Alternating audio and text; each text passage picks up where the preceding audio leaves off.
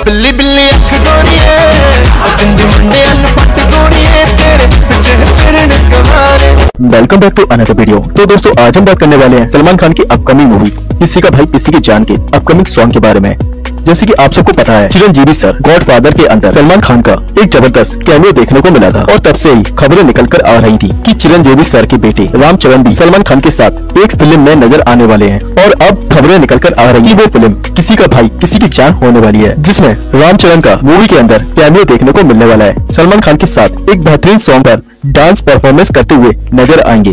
और ये सॉन्ग इतना बेहतरीन और इतना ज़बरदस्त होगा कि लोग इस सॉन्ग को सालों तक याद रखेंगे। जी हाँ दोस्तों मूवी जितनी बेहतरीन होने वाली है, उतनी ही बेहतरीन मूवी के सॉन्ग भी होने वाले हैं। क्योंकि मूवी में yo yo Honey Singh and TSP का ज़बरदस्त म्यूज़िक होगा और किसी का भाई किसी की जान में मैन लीड रोल में आपको देखने को मिलने वाले सलमान खान, पूजा हेगड़े वेंकटेश, जगदीश, जगपति बाबू, राघव जवान जस्सी गिल, सिद्धार्थ निगम और सहनाज गिल नज़र आने वाले हैं।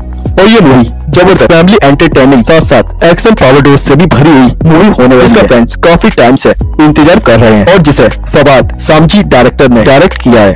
और साथ ही दोस्तों आपको बता दूँ कि ये मूवी इस साल यानी कि 2023 पर ईद पर रिलीज़ होनी है। तो दोस्तों आप इस मूवी और मूवी के सॉन्ग के लिए कितना एक्साइटेड हैं? कमेंट बॉक्स में ज़रूर बताएँ।